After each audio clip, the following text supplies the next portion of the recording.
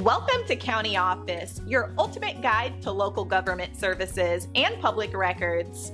Let's get started. How to look up Bakersfield, California arrest records. To look up arrest records in Bakersfield, California, start by visiting the Kern County Sheriff's Office website. They provide a wealth of information regarding arrest records. You can access the online arrest log, which is updated regularly. This log includes names, booking dates, and charges. It's a straightforward way to get recent arrest information.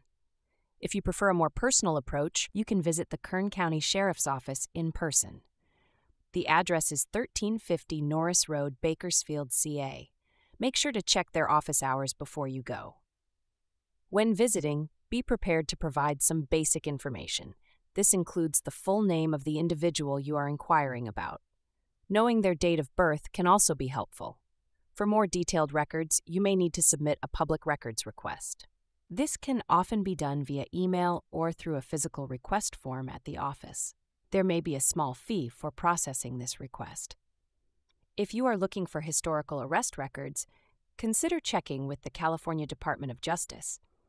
They maintain a statewide database of criminal records that may be useful.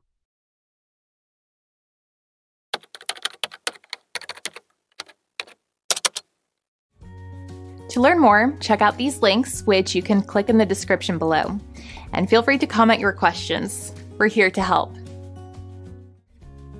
Thanks for tuning into our video. Please like and subscribe and leave a comment below. See you in the next video.